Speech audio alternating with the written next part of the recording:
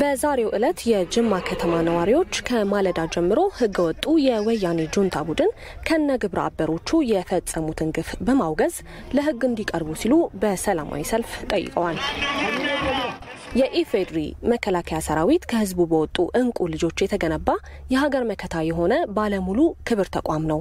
ይህንን ተቋም መንካት ኢትዮጵያን መንካት፣ ህልውናዋን መዳፈርና ሉዓላዊነቷን መጣስ ነው።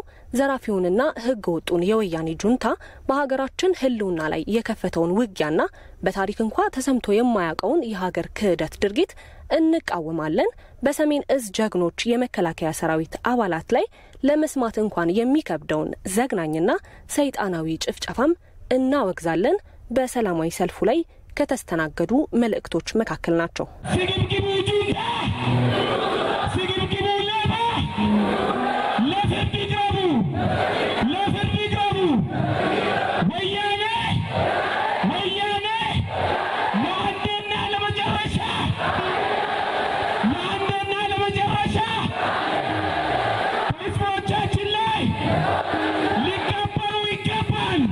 ከተሳታፊዎቹ መካከል ያነጋገርናቸው ህገ ወጡ የወያኔ ቡድን ለህግ እንዲቀርብ መንግስትም ህግን ለማስከበር እየወሰደ ያለውን እርምጃ እንዲቀጥልና ለጀግናው የመከላከያ ሰራዊት እስከ ህይወት መስዋዕትነት ድረስ አስፈላጊውን ድጋፍ ለማድረግ ያላቸውን ዝግጁነትና ተነሳሽነት ገልጸዋል። ፍቃደኛ ከሆኑና እድሜ መቆጠር ትሎ ችሎታዬን አይቶ ገምግሞ መንግስት ወደ ግንባር እንዲልከኝ ነው የሚጠይቀው።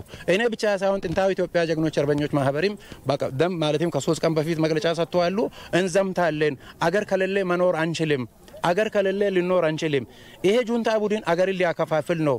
ከብት ሲሞት ለራሱ ኦሮሞ ባህል አለው ቀብሮ ነው እንትን ብለው እነዚህን የመከላከያ ሰራዊታችንን ያለ አግባብ እንደሌለ ነገር ሰውን እንዳልሆኑ ነገር አድርጎ ያደረጉት ነገር በጣም ውስጥን የሚነካና እነዚህ ጁንታዎች ነገ የኢትዮጵያን ሕዝብ ቅርና የራሳቸውን የትግራይን ሕዝብ የማይወክሉ መሆናቸውን ልንገልጽ እንፈልጋለን። እኛ ወጣቶችና የጅማ ከተማ ወጣቶች ደግሞ በመከላከያ ሰራዊታችን ጎን መቼም ዛሬም ሆነ ነገም ደም ከመለገስ ጀምሮ እስከ ድንበር ላይ ሄደን መዋጋትና ከመከላከያ ጎናችንና ከመንግስታችን ጎን መሆናችንን በደንብ አስቀድሜ መግለጽ ስለምፈልግ ነው የመጣሁት።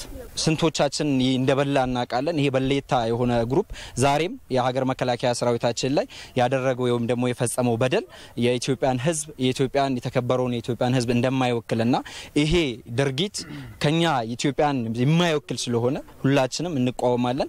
በተያያዘም የጅማ ከተማ የተለያዩ የማህበረሰብ ክፍሎች የሀገር መከላከያ ሰራዊታችንን መርዳት ሀገራችንን መርዳት ነው በሚል መሪ ቃል ለአገር መከላከያ ሰራዊት የተለያዩ ድጋፎችን አድርገዋል።